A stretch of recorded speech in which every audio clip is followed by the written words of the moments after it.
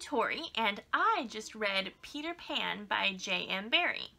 I listened to the audiobook done by LibriVox, which is kind of a free um, volunteer organization. People read open source books and they're available for anyone to listen to.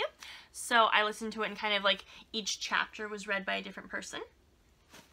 So I'd never read Peter Pan before, but I have seen lots of adaptations. When I was little, I used to love watching the Mary Martin version that they recently just remade a few years ago and showed it as um, the live Peter Pan event. So it's that same story. I've seen the Disney one, which the animated one, which is actually my least favorite version. I've seen the one from the early 2000s that's very magical and fun. I've seen that one. Um, I've seen Hook, which is kind of like an unofficial sequel to a Peter Pan movie that never existed. And then I've seen um, like parodies of it and stuff, you know, on Once Upon a Time they did a whole Peter Pan season and they've done different things. So I'm very familiar with the story, but I have never actually read Peter Pan before. I recently read the Victorian fairy tale book, and that had um, an excerpt from Peter Pan in Kensington Gardens, which is like a prequel, so I knew that little bit going into it, but I'd never read it before. So I thought it was very interesting. It made me think a lot, and I have to say, I feel like it's just not for me. There were a lot of things I didn't quite understand about it, and a lot of things that kind of annoyed me. So I'm going to start talking about that. So, um, if you don't want to hear spoilers, go read it and then come back. Okay, so first of all, Peter Pan, the character, is a terrible, obnoxious person with very few redeeming qualities. And I did not like him at all, and that made it very hard for me to like his story. I was surprised, but actually my favorite parts of the story were the parts that took place at the very end and the very beginning when the children were still in England and dealing with their mother and father based on all the adaptations I've seen, you know, they usually make the father out to be this horrible person, you know, and he's the one who threw Nana out and he's not very nice. But he was so much fun. He'd play with the kids. He did throw Nana out because he was being kind of childlike himself and throwing a bit of a tantrum, but he refused to take his medicine and he would play with the children and I loved his character. I loved how at the end, um, you know, we find out that the whole time the children have been gone, he's been actually living in the doghouse as kind of a penance for it. And it's so great. His wife says, are you sure it's really a punishment? Are you sure you're not enjoying it just a little bit? And he says, no, no, it's definitely punishment. But he is absolutely enjoying it, and that's just so hilarious. And then Nana was great. I loved her, um, like the image of her um, taking care of the children and walking down the street with them. And just, it was just so much fun. so for the parts that took place in Neverland and once Peter gets there, all that stuff, I figured you are either supposed to look at it as uh, like something that actually happened and this is a fantasy story, or it's supposed to be some kind of a metaphor for childhood's innocence or something. So if it's literal, then it's kind of bleak and creepy. The Lost Boys are separated from their parents. I guess they fall out of their strollers or something. And then they're constantly dying. They talk about them like dying off in all these battles, which seems not great. And they would talk about um sometimes there wouldn't be any food because Peter imagined there was food and it just seemed like kind of bleak conditions.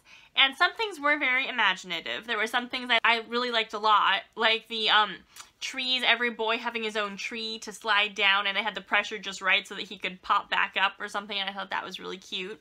And so if you see it as a literal thing, then Peter is just this kind of awful child who has this sort of cult following and they go have adventures. If you see it as a metaphor, then I guess Peter Pan is a metaphor for like your youngest self or like your id, your inner uncensored self, which I guess means that children aren't very nice or people are naturally really selfish unless they try not to be or people are inherently cruel, I guess. Those kind of be the messages they're trying to get across here with Peter and his kind of mean character. They also make it clear that Neverland is a place that children kind of have dreamed of and it has elements of every different child's dreams in it.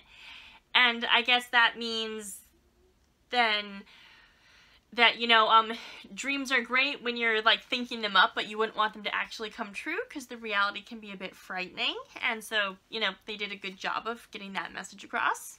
And then I guess at the end, you know, um, there was the whole part where Peter Pan was supposed to come get Wendy for the spring cleaning. And he did, but then he didn't really remember her, and then he forgot a year, and then he did it again. Um, he came and got her another year later, but then he kept forgetting. And I think that was supposed to be kind of like a metaphor for, you know, you can kind of, as you grow up, you can kind of slip back into childhood uh, for a little while, but it gets harder and harder, and eventually you won't get to have any part of you that's a kid anymore. You'll be an adult. And I could see that as being a message they were trying to deliver. So this book has a lot to say about women and about mothers. They did try to get the message across, you know, that the children's mother would always leave the window open for them and she'd always wait for them and they were trying to say your parents will always forgive you no matter what you do. And so that was a very nice message to try to give to little children. I didn't like it that Wendy had to be their mother and that was her whole point of going with them.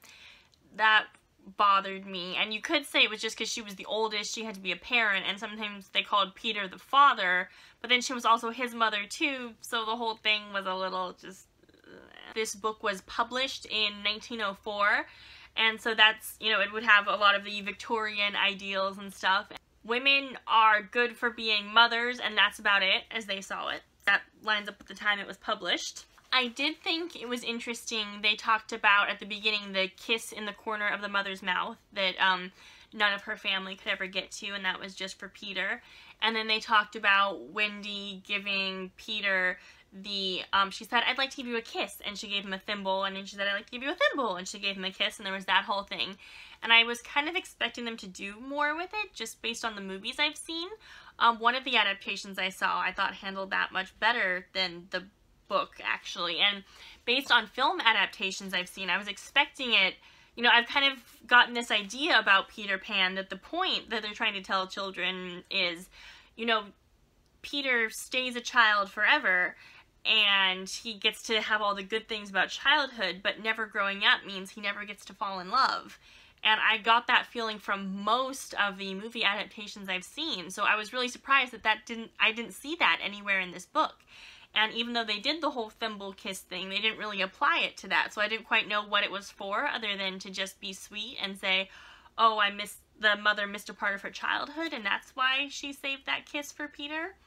So that was interesting. And I, I find it interesting that all these different film adaptations took that route when the actual source material didn't. So yeah, I feel like there was a lot I didn't understand about this book, and now I'm going to go try to read some literary reviews or something and figure out what the whole point was. But um, I'm glad I read it. I feel more informed about this really kind of famous story now. And yeah, it was an interesting experience.